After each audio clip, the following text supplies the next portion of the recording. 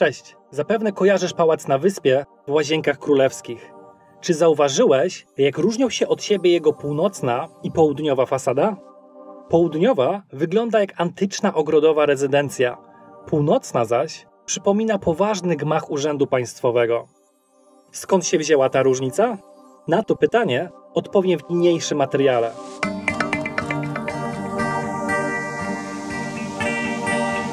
Historia pałacu na wyspie sięga XVII wieku, gdy Stanisław Herakliusz Lubomirski rozbudował w tym miejscu budynek łaźni oraz swoją samotnię. Jak słusznie się domyślasz, to od tych łaźni miejsce to zawdzięcza nazwę Łazienek. W 1764 roku król polski Stanisław August Poniatowski kupił znajdujący się nieopodal zamek Ujazdowski. Chciał, aby mieściła się tu jego letnia rezydencja. Dodatkowo kupił również teren łazienek. Miały one kontynuować rolę samotni oraz miejsca wypoczynku.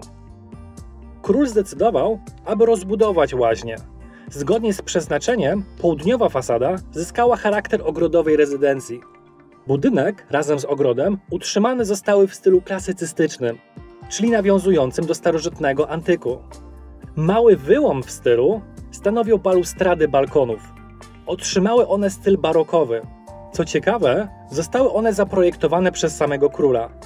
Pałac z tej strony posiada wiele rzeźbiarskich detali.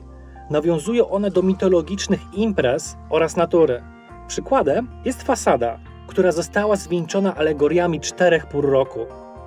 Kolejnym ciekawym miejscem jest tutaj podcień.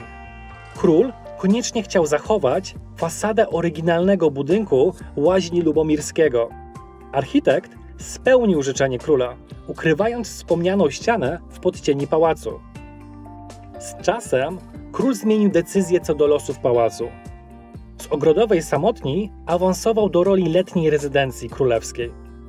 Pierwszym powodem zmiany był zachwyt króla nad ideą ogrodowej posiadłości, która będzie otwarta dla wszystkich poddanych. Natomiast drugim był czynnik finansowy. Przebudowa zamku Jazdowskiego raczej nie mieściła się w napiętym budżecie króla.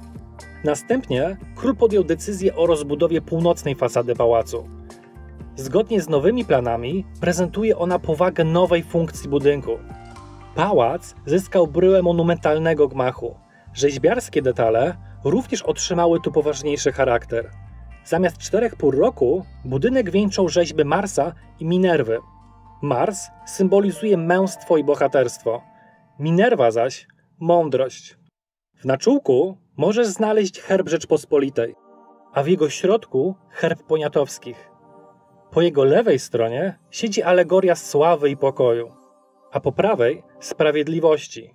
W ten oto sposób pałac zachował historię zmiany swojego przeznaczenia od ogrodowego pałacyku do rezydencji króla. Pozdrawiam.